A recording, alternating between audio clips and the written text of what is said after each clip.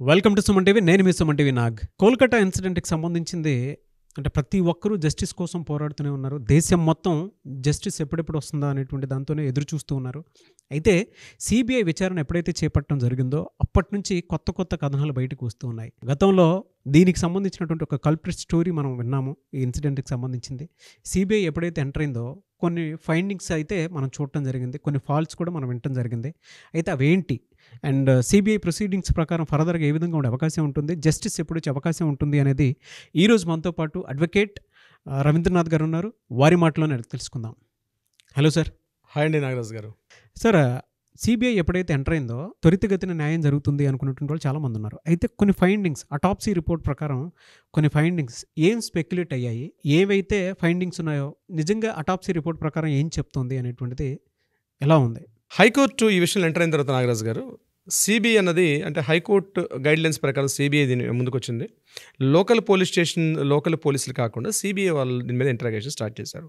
So CBI అనేది ఒక special ఒక దర్యాప్తు సంస్థ ఇది. CBI central bureau of investigation వీళ్ళకి కొన్ని గైడ్లైన్స్ ఉంటాయి. లీగల్గా చెప్పాలంటే section సిఆర్పిసిలో section one sixty one one sixty two ఇవన్నీ కూడా సిబిఐ వరకు క్లీన్ ఇంటరాగేషన్స్ ఇస్తుంది అనమాట గైడెన్స్ ఇస్తారు. అంటే ఇక్కడ రెండు రకాలుగా వాళ్ళు చేస్తారు. ఒకటి సాక్షుల్ని విచారించడం అనుమానితుల్ని విచారించడం. అంటే విట్నెస్ అన్ని అంటే ఐడెంటిఫై చేస్తారు. సాక్షులందరినీ కూడా. అక్కడ ప్రత్యక్ష సాక్షులు కావచ్చు పరోక్ష సాక్షులు కావచ్చు. ఎవిడెన్సెస్ ఫోరెన్సిక్ రిపోర్ట్స్ తీసుకోవడం అటాప్సీ రిపోర్ట్స్ తీసుకోవడం. ఆయా అక్కడ సందర్భంలో ఫోన్ రికార్డింగ్స్ ఏమేమి జరిగాయని కూడా కలెక్ట్ చేస్తారు. దీనిలో భాగంగా మనకి ఈరోజు మార్నింగ్ అటాప్సీ రిపోర్ట్ రిలీజ్ అయింది బయటికి మన న్యూస్లోకి సో అటాప్సీ రిపోర్ట్ ప్రకారం అంతకుముందు రిపోర్ట్ కాకపోవడం సంచలనం అవుతున్న సంఘటనలు ఏవైతే ఉన్నాయో దీనికి అటాప్సీ రిపోర్ట్కి కొద్ది తేడా ఉంది. కొన్ని కరెక్ట్గా ఉన్నాయి కొన్నిటికి డిఫరెన్షియేట్ జరుగుతుంది అక్కడ. అంటే ఫస్ట్ ఏమనుకున్నారంటే ఆమె యొక్క కాలర్ బోను పెల్విక్ గ్రాండ్ పెల్విక్ బోన్ ఏదైతే ఉందో ఇది బ్రేక్ చేయబడి ఉంది అని అందులో బాగా మనకి రూమర్స్ జరిగాయి.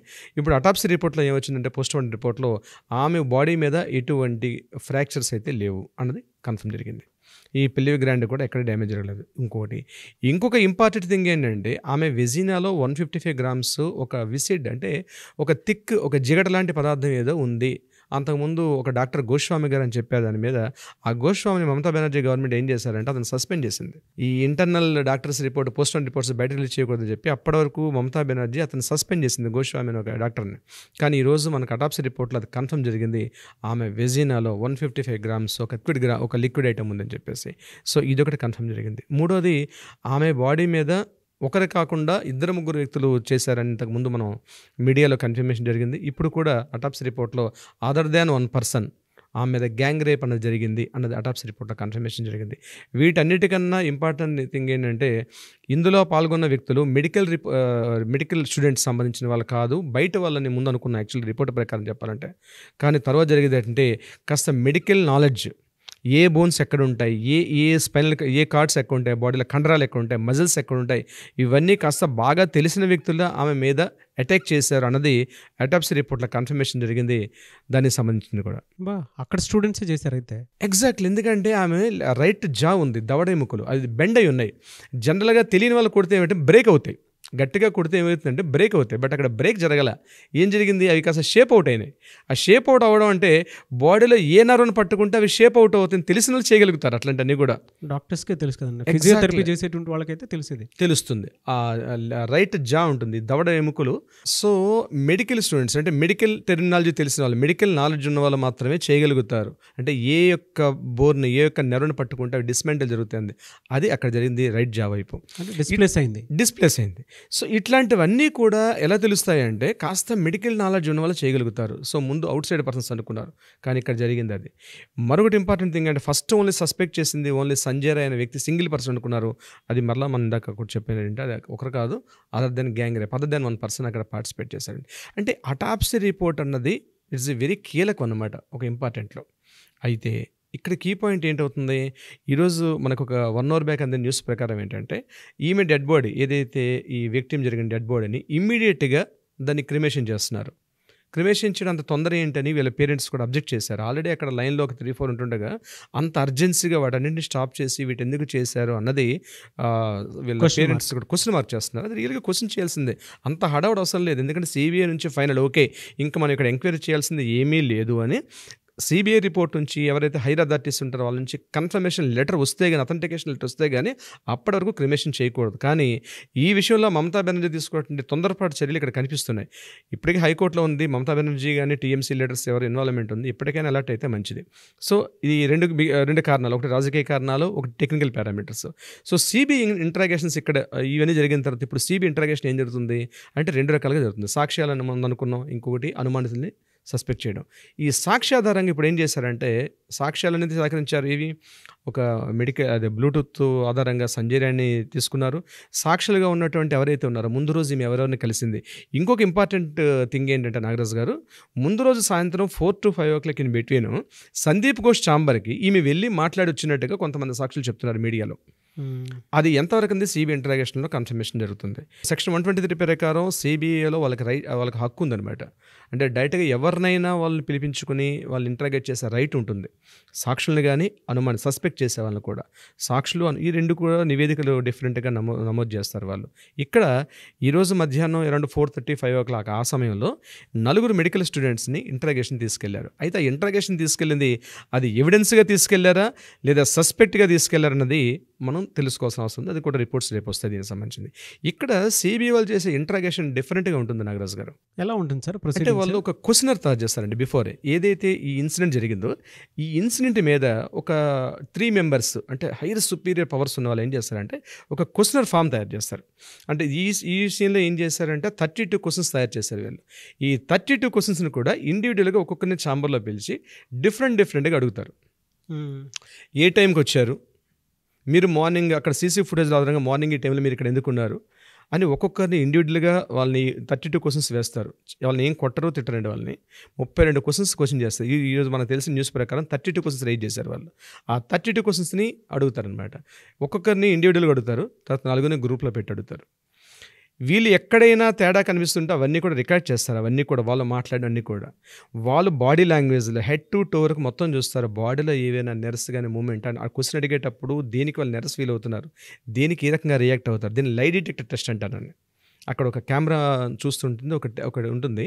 ఆ లై డిటెక్టర్ టెస్ట్ ఎలా ఉంటుందంటే that is the wave length of the signals అనమాట అంటే మనం మాట్లాడుతునేటప్పుడు మన హార్ట్ బీట్ ఎలా ఉంది మన పల్స్ రేట్ ఎలా ఉంది ఇవన్నీ వాళ్ళు అక్కడ కంపేర్ చేసి చేస్తారు. ఈ లై డిటెక్టర్ టెస్ట్ కూడా వీళ్ళ నలుగురి మీద చేస్తున్నారు. వీళ్ళతో పాటు సంజయ్ రాయ్ మీద కూడా చేశారు.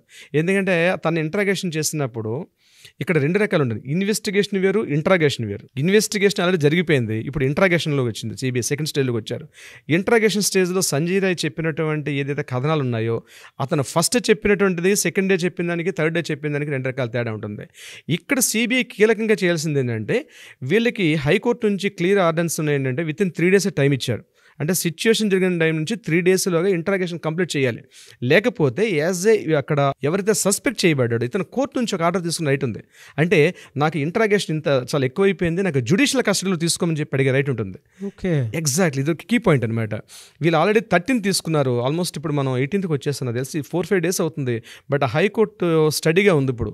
ఏ మినిట్ అనేది జుడిషియల్ ఎంక్వైరీలోకి వెళ్ళింది అనుకోండి సాక్ష్యాలు తారుమారే అవకాశం ఉంటుంది. అంటే ఏంటి? జుడిషియల్ ఎంక్వైరీ ఏంటి? అక్కడ ఒక advocate general advocate public prosecutor in front of దాని ముందు జరగాలి సిబిఐ వాళ్ళు. అంటే సిబిఐ వాళ్ళు వాళ్ళకు కొంత ఆ పవర్స్ పవర్స్ తగ్గవు. ఐ మీన్ వాళ్ళ వే ఆఫ్ ట్రీ ట్రీట్ చేసే విధానంలో కొంత వేవ్ లేని తగ్గుతుందండి. సో నా ఉద్దేశం ఏంటంటే ఎంత ఎర్లీగా వీళ్ళు కంప్లీట్ చేసుకుంటే సిబిఐ డిపార్ట్మెంట్ అంటే అవన్నీ తెలుసు వాళ్ళు జుడిషియల్లోకి వెళ్ళకుండా జుడిషియల్ కస్టడీలోకి వెళ్ళకుండా ఈవెన్ ద సిబిఐ కస్టడీ ఉన్నప్పుడే మ్యాక్సిమం ఇన్ఫర్మేషన్ వచ్చినప్పుడు ఇటువంటి కేసుల్లో బాధితులకి న్యాయం జరిగే అవకాశం ఉంటుంది. జుడిషియల్ కస్టడీ వెళ్ళినప్పుడు ఏమవుతుందంటే చాలా డ్రాగన్ అవుతుంది. అంటే పబ్లిక్కే ఎంత ఇన్ఫర్మేషన్ ఉంది సార్ సిబిఐ అయితే ఇంకా డీటెయిల్డ్ వచ్చేసి ఉంటుంది అంటే మేము. కొద్దిగా లీగల్గా ఉన్నాం కాబట్టి దాని గురించి కొంత అవగాహన ఉంటుంది కదా చెప్పగలుగుతాం పబ్లిక్లో ఇంత ఉండదు నాగరాజ్ గారు యాక్చువల్గా. వీళ్ళకి తెలియదు ఏదో సిబిఐ ఇంట్రాగేషన్ చేస్తే అయిపోతుంది బట్ ఇక్కడ ఏంటంటే Indian evidence act eighteen sixty two ప్రకారం ఏం చేస్తుందంటే ఒక అపరాధి మాత్రం బయట ఉన్నా పర్వాలేదు. నిరపరాధి మాత్రం లోపల ఉండే అవకాశం ఉండకూడదు. ఇది మనకి మనకి చట్టాలు నేర్పిస్తుంటే రూల్స్ అండ్. రెగ్యులేషన్స్ కాబట్టి. బట్ ఈ కేసు ఏదే జరుగుతుందో ప్రతి గంట గంటకి వస్తున్నట్టు రిపోర్ట్స్ మాత్రం బాధితురాలకి న్యాయం జరగాలి. ముఖ్యంగా మమతా బెనర్జీ మనం ప్రతి ఎపిసోడ్ చెప్తున్నాం ఇప్పటికైనా రిజైన్ చేసేసి వైద్యారోగ్య శాఖ మంత్రిగా తన ముఖ్యమంత్రి రాజీనామా చేసి పబ్లిక్ ముందు ప్రజల ముందు తన నిజాయితీ నిరూపించుకోవాల్సిన అవసరం అయితే ఉంది. రాష్ట్రపతి పాలన అయితే కోరుకుంటున్నారు సార్ అక్కడ. అలా ఎగ్జాక్ట్లీ రాష్ట్రపతి పాలన కోరుకుంటున్నారు ప్రజలందరూ కూడా. అక్కడ ఒకటి. ఏంటంటే ఇదే ఇదే సిచ్యువేషన్ కూడా ఆ విధంగానే ఉంది. అవునండి ఇదే సిచ్యువేషన్ మీకు యూపీలో జరిగితే యోగి ఆదిత్యనాథ్ అలాగే ఇదే సీన్లో ఉన్నట్లయితే సిచ్యువేషన్ ఇంకో రకంగా ఉండేది నాగరాజు గారు. ప్రజలందరూ కూడా ముక్త కంఠంతో చెప్తున్నారు ఇది మాకు యూపీలో యోగి ఆదిత్యనాథ్ లాంటి సీఎం గాని మా రాష్ట్రం ఉన్నట్లయితే సిచ్యువేషన్ వేరే విధంగా ఉండేది. అండ్ మన తెలుగు రాష్ట్రాల సీఎంలు ఉన్నా కూడా ఈ పాటికి ఒక decision ఎందుకండి ఇదే వెస్ట్ బెంగాల్లో సందేశ్ ఖాళీ సంఘటన జరిగినప్పుడు ఇదే పక్కనే ఇప్పటివరకు ఆ బాధితులకు ఏం న్యాయం జరిగిందని ఇప్పటికే క్వశ్చన్ మార్క్ ఇప్పటికే న్యాయం జరగల. ఇదే మమతా బెనర్జీ గవర్నమెంట్ జస్ట్ ఒక three five six months by జరిగింది. సందేశ్ ఖాళీ దుర్ఘటన. ఇది ఆల్మోస్ట్ సిమిలర్గా ఉంటుంది అక్కడ కూడా. అక్కడ కూడా అత్యాచార బాధితులే సందేశ్ ఖాళీ. అదే సిచ్యువేషన్ ఇక్కడ రిపీట్ అవుతుంది. నా ఉద్దేశం ఏంటంటే ఎంత తొందరగా వీలైతే సిబిఐ ఇంట్రాగేషన్ కంప్లీట్ చేసుకొని నివేదికలు తయారు చేసుకొని కోర్టు ముందు హాజరుపరిస్తే బాధితురాలకి న్యాయం జరుగుతుంది పేరెంట్స్కి కూడా న్యాయం జరుగుతుంది. సో దీనికి ఏంటంటే ముక్త కంటే అందరం ఖండిస్తున్నారు.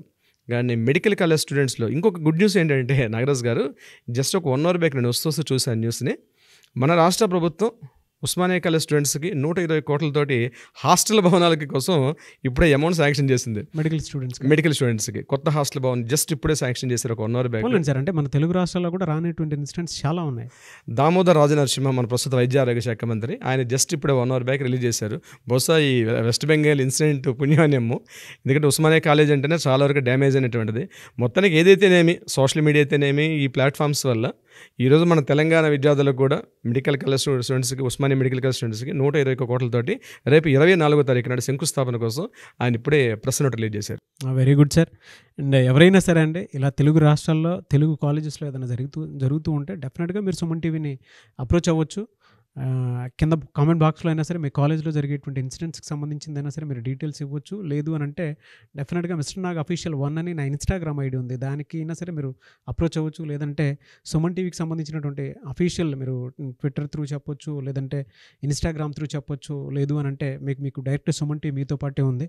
ఎలా అయినా సరే మీరు అప్రోచ్ అవ్వచ్చు. థ్యాంక్ యూ సార్ ఏదైనా న్యాయం జరగాలని మాత్రం త్వరగా జరగాలని మాత్రం కోరుకుందాము. ఎప్పటికప్పుడు అప్డేట్స్ మనం మన సైడ్ నుంచి అయితే అందిస్తూ ఉందాము. ఏం జరిగింది అనేటువంటిది. తప్పనిసరిగా Let's.